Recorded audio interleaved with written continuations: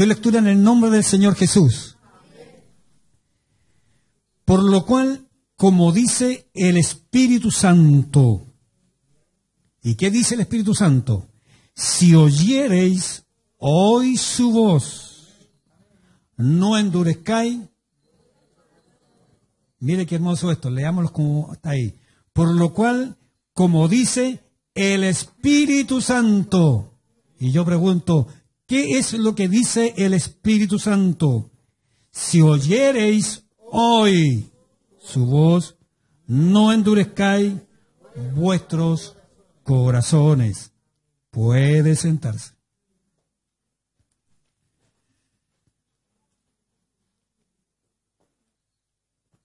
Doy gracias al Señor por tener la palabra frente a nosotros. Amén. Gracias, Señor. Esta es una escritura, hermano, que Dios puso en mi corazón sin saber.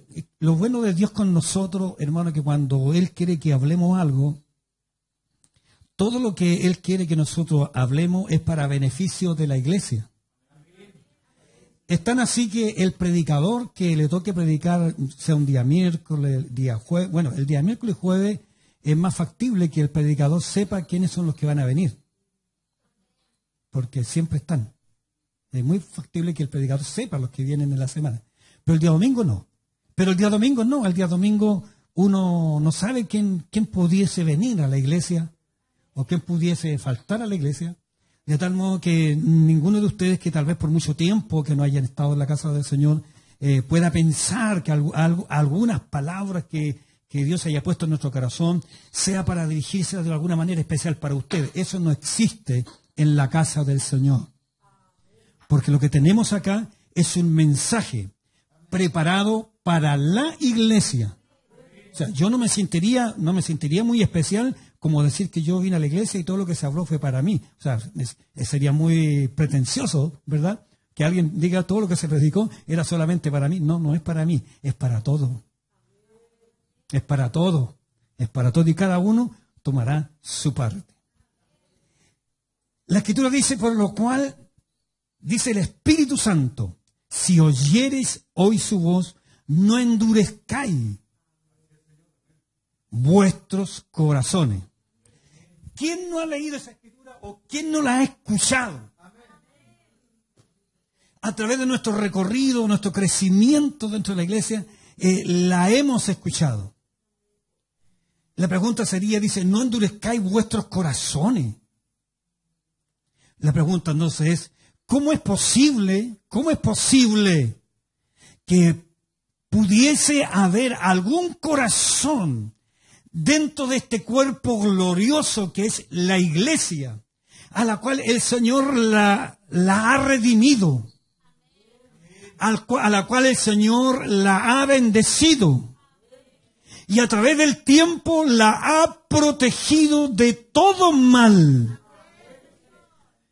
Y como esta es la palabra del Señor para su iglesia, yo me pregunto, pero ¿cómo es posible que pudiese existir algún miembro del cuerpo de Cristo que pueda tener tanta dureza, como lo dice la escritura, la palabra del Señor acá, si oyereis hoy su voz, no endurezcáis. O sea, el Señor está diciendo, yo no quiero que tengáis el corazón duro. A ver, el Señor, yo quiero interpretar de alguna manera el propósito del Señor. Se me está diciendo, a ver, yo quiero tener una iglesia, pero que no tenga el corazón duro. Porque si esta tiene, la iglesia, mi iglesia tiene el corazón duro, yo no me puedo manifestar. Yo tampoco me puedo glorificar ahí, no puedo, aunque quisiera, no puedo. Dios no quiere, hermano, un corazón duro. Dios quiere un corazón donde que esté sensible. Al cual al escuchar, al, escuchar la palabra de Dios, eh, le sea al corazón, como dijo Elías, un silbido suave. Que sea la palabra del Señor, como dice el salmista, también como un bálsamo. Y que yo lo sienta así en esta hora. Que sienta que Dios quiere hablar conmigo Y para que Dios quiera hablar conmigo, yo necesito sacar todo lo que está duro. No hay cosa más terrible que trabajar en algo duro, ¿no? Bueno, en, en una oportunidad, no se lo cuenten a nadie, quise yo, tenía que arreglar un problema, pero tenía que picar un pedazo de cemento. Y quise hacerlo con un cincel y con un martillo y un combo. Pero créame, por cada martillazo que le pegaba, el cincel rebotaba y no le hacía nada. Nada. Y me di cuenta que me estaba haciendo pedazos las manos, porque eso estaba demasiado duro. Me di cuenta que necesitaba otra herramienta que tuviera más poder que mis manos para que pudiera romper ese material duro. La iglesia tiene una herramienta especial. Y usted la tiene también, todos la tenemos aquí, la gran mayoría de los que estamos aquí, tenemos una herramienta especial que el Señor puso en nuestro corazón. Y esa herramienta se llama Espíritu Santo. Con el Espíritu Santo todo se ablanda, todo es sensible. Estando el Señor moviendo su Espíritu Santo, todo es sensible, todo es sensible, todo es sensible, porque está el poder de Dios obrando ahí. Si no está el, Espíritu Santo, ahí sí que todo se pone duro. Pero tenemos una herramienta poderosa en Dios. Pero el tema es cómo, cómo tanta dureza. En una ocasión, mientras predicaba por, por, por las redes sociales, tomé una porción de la escritura pero no la tomé de la Biblia Reina Valera, como siempre nosotros acostumbramos a leerla.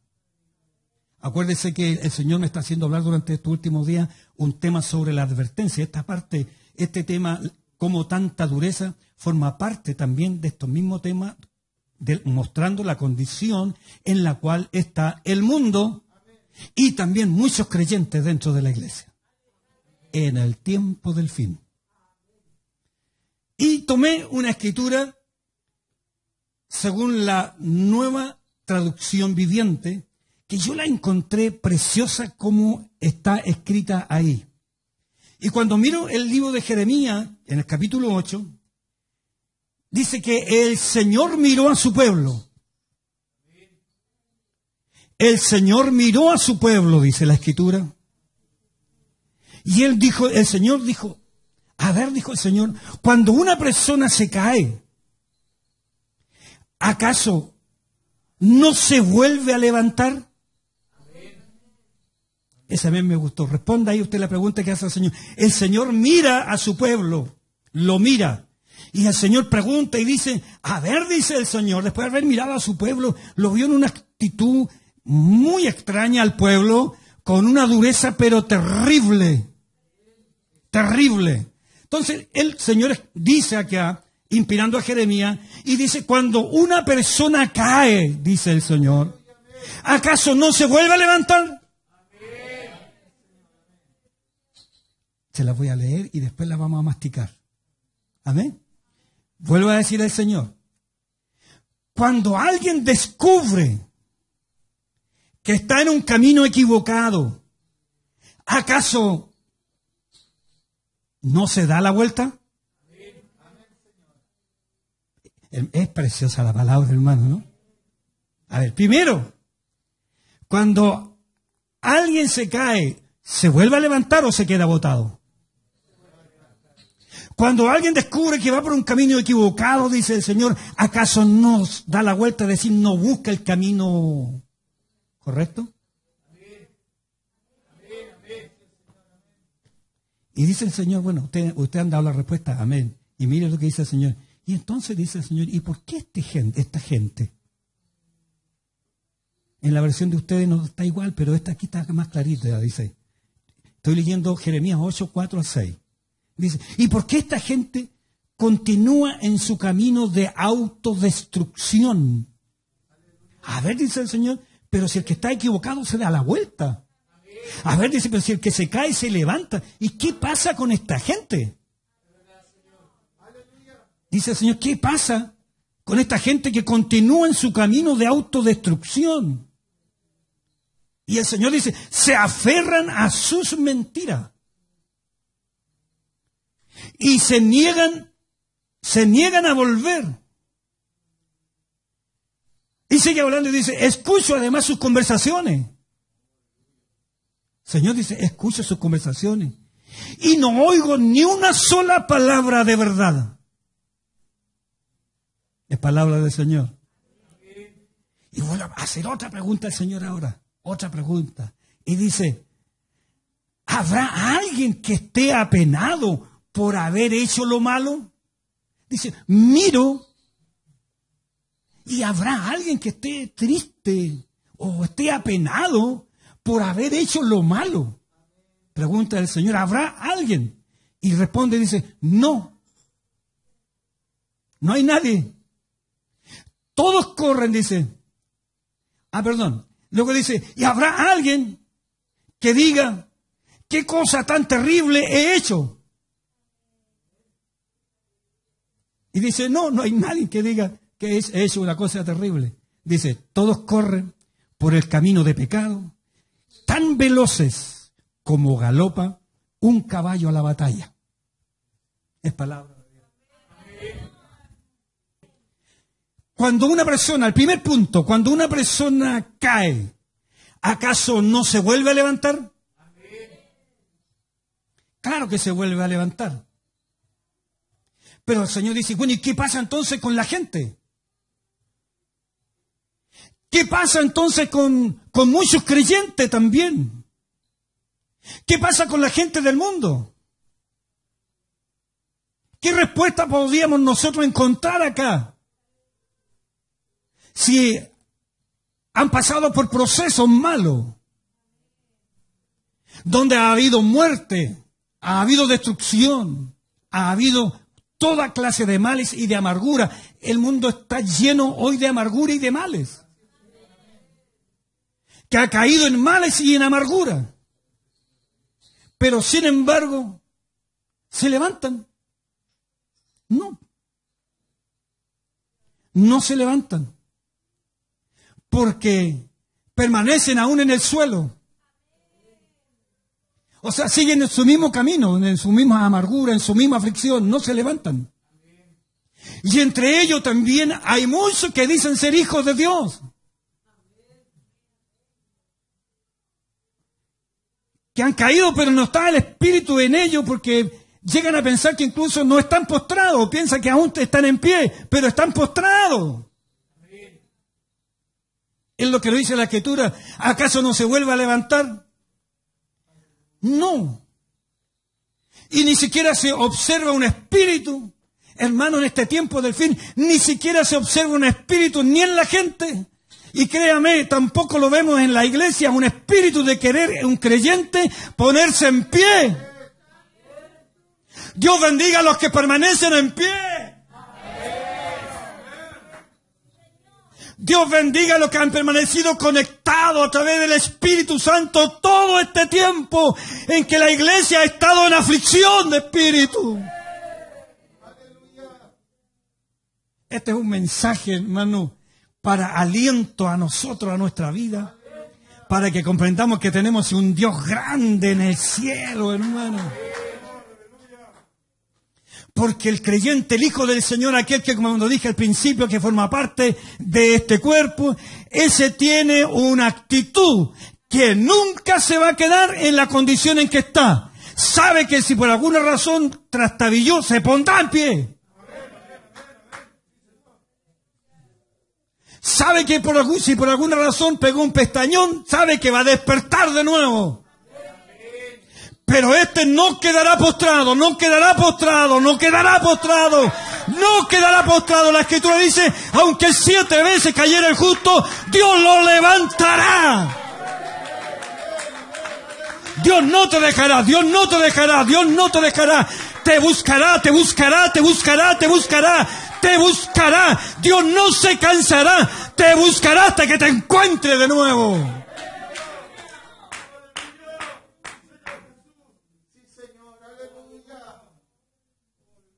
Pero cuando el Señor mira a su pueblo, el Señor dice, pero esto, esto no puede ser.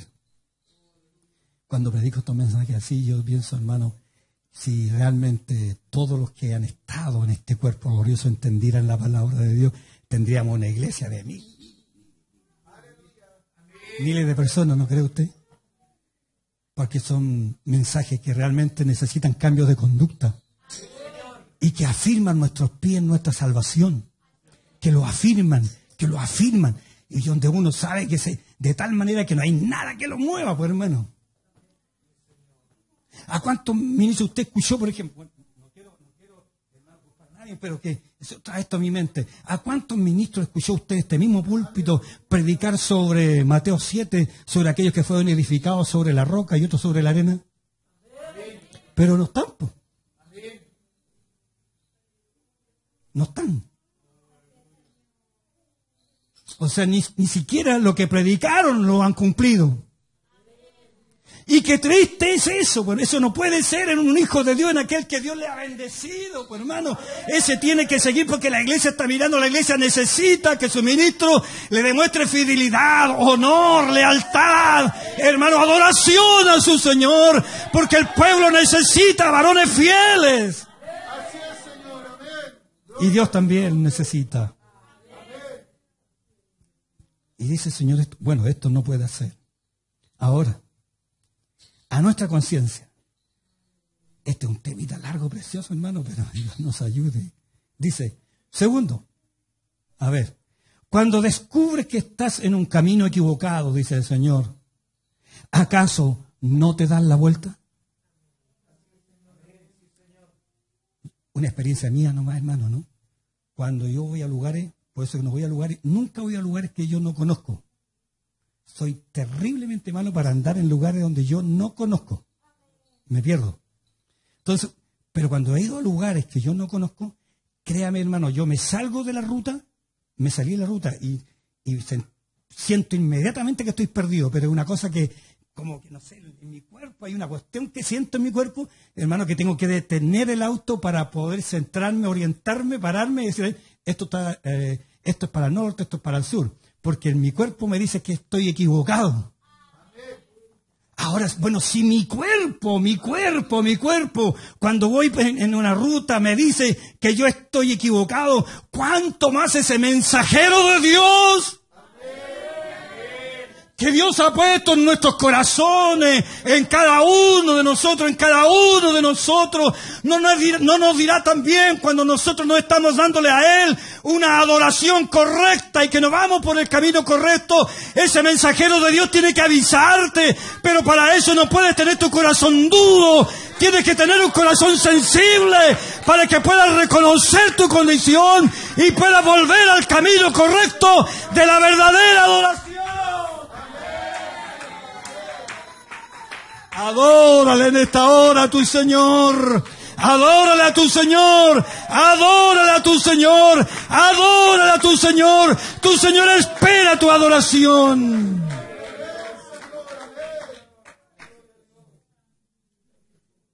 Le, le pregunto a usted, a ver, respóndanme. Estoy frente a una iglesia inteligente. ¿Cuántos se han extraviado de, en alguna dirección alguna vez? ¿Qué hace usted? Pero lo, hace así muy pacífico o usted realmente quiere pronto encontrar el lugar. ¿Y por qué quiere encontrar el lugar?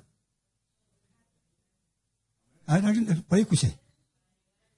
Eso, eso. Cuando uno anda perdido, quiere retomar el camino correcto porque quiere llegar a destino. Hermano, hermano, hermano, hermano. Si estamos extraviados en algún punto, en algún punto de nuestro camino a la vida eterna, si por alguna razón en la adoración, en la oración, en el cántico, en la palabra, no sé, en nuestra responsabilidad, en todo lo que, lo que implica nuestra ruta hacia la vida eterna, si en algún punto te has extraviado, este es el minuto para que resuene rápido, para que puedas llegar al destino, porque nuestro destino, hermano, nos está esperando, hay un destino que nos está esperando, ¿a quién? A los valientes, a los valientes, a los valientes, que corren como valientes, que escalan muros a los cuales nada ni nadie les cambia el rumbo de su destino. Aleluya, vuelve, vuelve, rápido, vuélvete. Tiene que devolverse rápido. No diga mañana. Por eso que la escritura dice que el Espíritu, el Espíritu Santo dice si hoy. No lo piense para mañana. No deje que el enemigo le diga no si mañana. O cuando tengas tiempo. No, hazlo hoy. Lo que tienes que hacer, hazlo hoy. Tenemos que hacerlo hoy para que lleguemos al destino. Pero el Señor dice aquí, hermano, ¿no le parece extraño a usted? El Señor dice aquí, pero esta gente dice, sabe que va por el camino equivocado.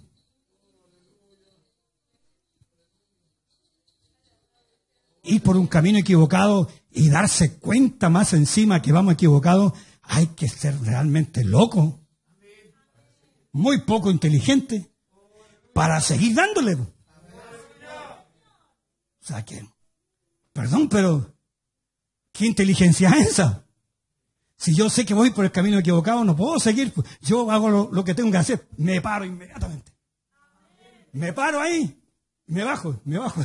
yo me bajo del auto y mi Magali sabe. Yo me bajo del auto y miro para todos lados. A ver, ¿dónde estoy aquí? Ah, para allá, para acá. Perfecto. Me subo y me tomo el camino correcto.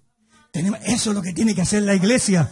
El Señor, eso es lo que espera, eso es lo que espera el Señor. El Señor dice, pero dice esta gente, sabe que puede por el camino equivocado pero no tiene el más mínimo interés de buscar el camino correcto. Sin juzgar a nadie, pero hermano, ¿a cuántos conocemos? Totalmente perdidos.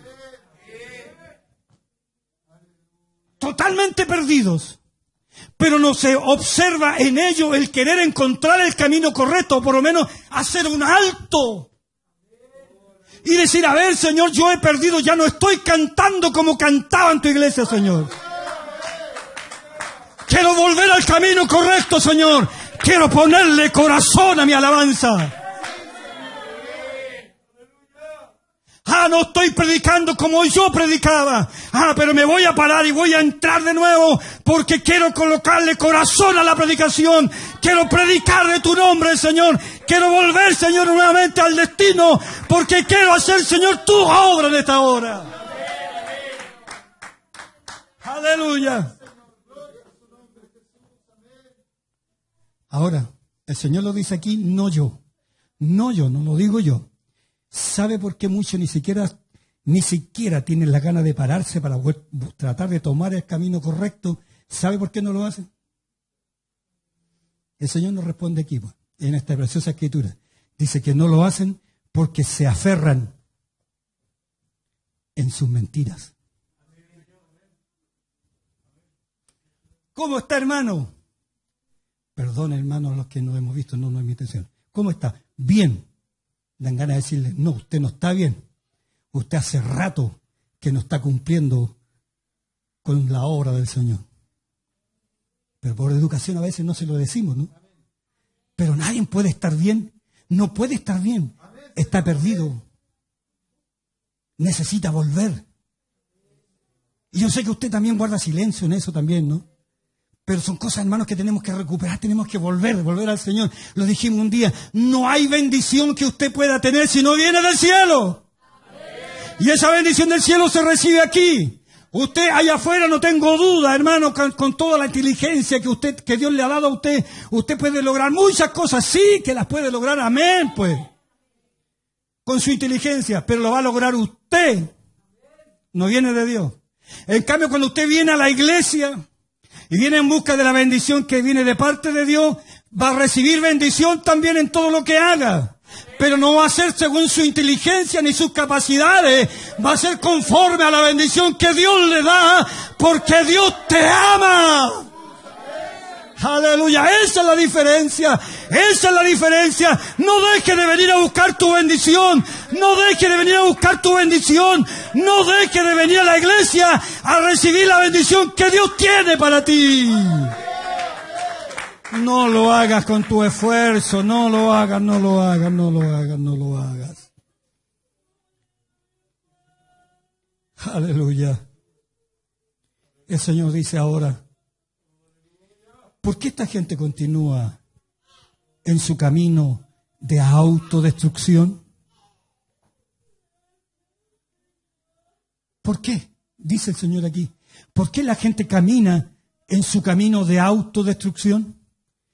¿Cuántos saben que la Escritura dice en Ezequiel 18 de que Dios no quiere la muerte del impío? No la quiere. Sino que dice que quiere que esté viva. Así que Dios no es el culpable. Dios no tiene la culpa. Nosotros somos los culpables.